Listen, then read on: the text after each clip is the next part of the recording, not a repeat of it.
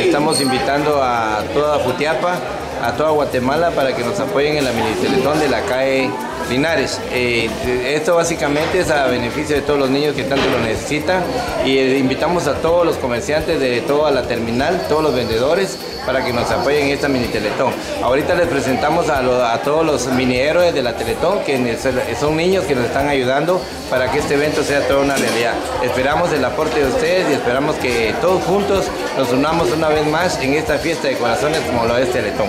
¿Qué tipo de actividades han estado haciendo? Eh, las actividades van a empezar a, partir de este sábado próximo. Vamos a hacer una carrera en Costalados, carreras de cintas. Invitamos a todo el sector que, que está cerca de lo, que es de, nuestra calle Linares, a toda la terminal, a todos los vecinos, para que con su granito de arena nos ayuden a que esta Teletón sea toda una realidad y que podamos superar la meta de este año. ¿A qué hora se realizarán las actividades? Eh, las actividades empezarán desde las 4 de la tarde de los días sábados para culminar el día 15 y 16, lo que será la, la Teletón normal que vamos a hacer, donde estaremos iniciando y finalizando en la calle Linares desde las 8 de la mañana hasta las 6 de la tarde.